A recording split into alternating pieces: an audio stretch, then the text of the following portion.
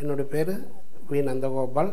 என்னுடைய உறுப்பினர் நம்பர் வந்து நாற்பத்தெட்டு ஐம்பத்தி ஒன்று நான் வந்து ஆயிரத்தி தொள்ளாயிரத்தி தொண்ணூறுலேருந்து நடிச்சிட்டு இருக்கிறேன்.